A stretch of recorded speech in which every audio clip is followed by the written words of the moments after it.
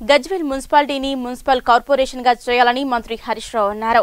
గజ్వెల్లో ఇప్పుడు జనాభా అరవై వేలు దాటిందని ఆర్ అండ్ ఆర్ కాలనీలో ప్రజలు వస్తే దాదాపు ఒక లక్ష యాభై వేల మంది ప్రజలు ఉంటారు కాబట్టి గజ్వేల్ను కార్పొరేషన్గా చేయాలని గజ్వేల్ మున్సిపల్ కార్పొరేషన్ అయితే గజ్వేల్ ప్రజ్ఞాపూర్ అభివృద్ధిలో ముందుంటుందన్నారు.